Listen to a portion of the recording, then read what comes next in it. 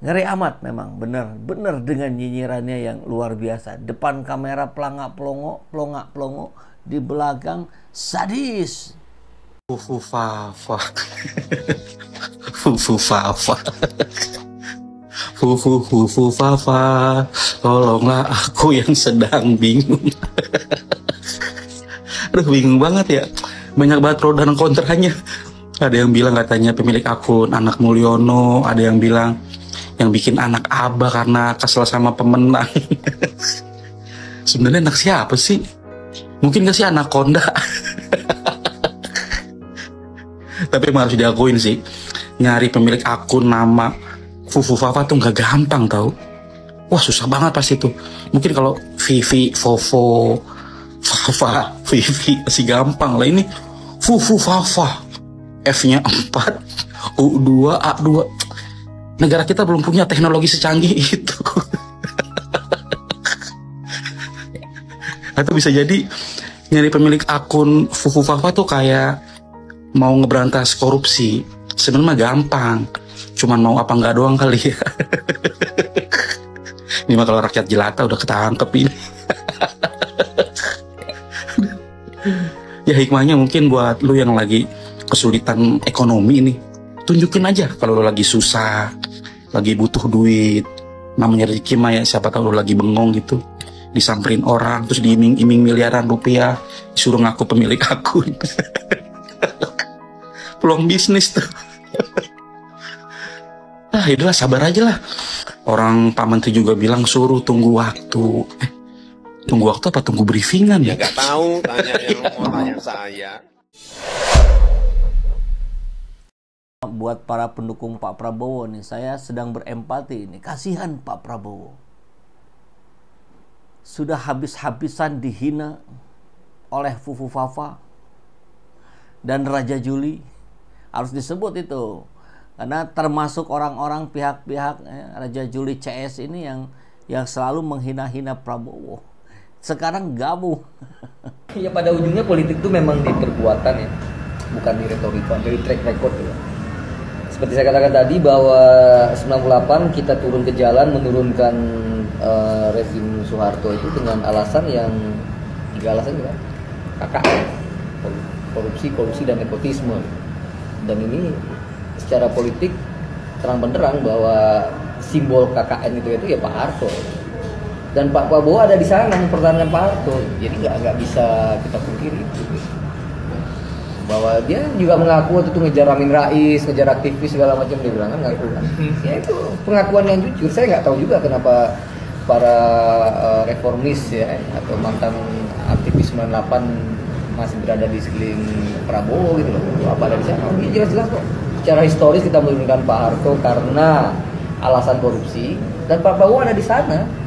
Secara langsung tidak langsung dia mempertahankan rezim itu. Mertuanya gitu.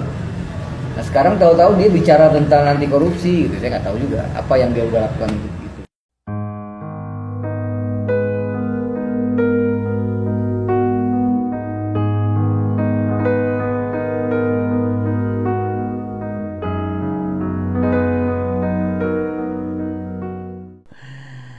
Padahal Pak Prabowo ingatannya sangat kuat sekali kalau ada orang-orang yang menghina dia.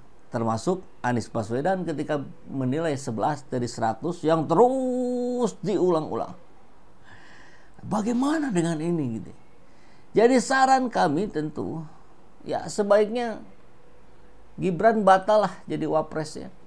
Kalau enggak gaduh terus ini pemerintahan tidak akan solid karena di situ ada orang yang sudah sangat diduga keras 99,9 persen bahkan ada yang bilang 100 persen yang menghina-hina itu ya Gibran dengan akun Fufu Fafanya nah sahabat Z kita akan coba simak mudah-mudahan video ini menguatkan Pak Prabowo untuk menguat untuk uh, memutuskan pembatalan Gibran atau setidaknya setelah dilantik kemudian dilengsarkan karena dianggap tidak layak menjadi wapres.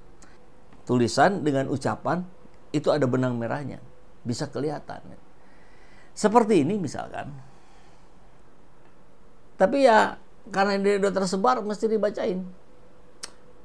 udah dibela udah dibela-belain jadi mualaf eh malah dicerain istri punya anak homo biji tinggal satu gagal nyapres duit habis aduh ini yang oleh Jimli Asidikli kemarin sudah lupakan sajalah itu situasi di mana demokrasi sedang rusak. Loh sekarang memang sudah baik. Ini Jimli ini gimana pola pikirnya? Ketua MK MK mantan ketua MK nggak ngerti kita. Kok bisa-bisanya yang begini harus dilupakan? Yang begini-begini harus dipertanggungjawabkan. Bukan dilupakan. Kan kasihan Pak Prabowo bagaimana bayangkan nanti dari setiap momen ada Prabowo kemudian Gibran di sampingnya bagaimana isi hati dan kepalanya Prabowo mengingat cara-caranya yang seperti ini nggak akan sehat gitu.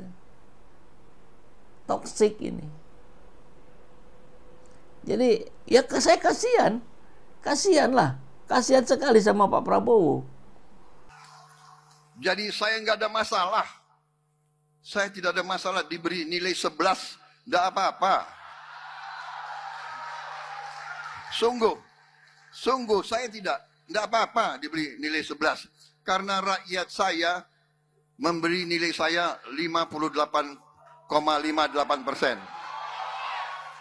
Prabowo itu begitu marah pada Anies Baswedan ketika dinilai 111 dari 100. Bayangkan ini, skalanya mungkin satu juta persen lebih fatal.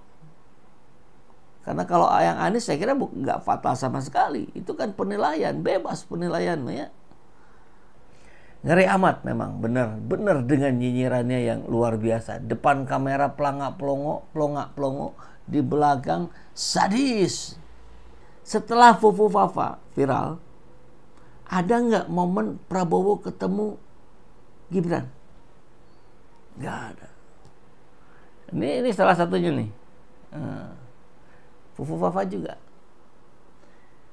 Ada postingan lebih baik duda tapi terhormat daripada beristri tapi dikendalikan janda. Mungkin maksudnya ke Jokowi yang dikendalikan Megawati. Kemudian Fufu Fafa merespon, iya duda terhormat. Pas pilpres pura-pura rujuk. Habis itu kalah nggak jadi rujuk. Terhormat gundulmu peyang. Nah, coba cek anggota PSI lain. Banyak yang hina-hina Prabowo. Ya, misalkan siapa? Uh, Grace Natali. Ngasih award kebohongan terlebay kepada Prabowo Subianto. Ini juga nih, coba lihat.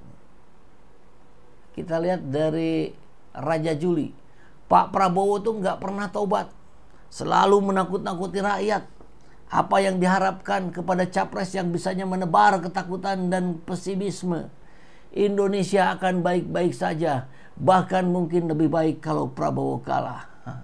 Raja Juli Antonio sekarang jadi wakil menteri apa ya wakil ketua otorita IKN wakil menteri apa gitu wah berjibun ini hasil dia menghina-hina Prabowo dan ini juga sama ya bapak gelar bapak kebohongan disematkan oleh siapa ini Grace Natali termasuk yang lain-lainnya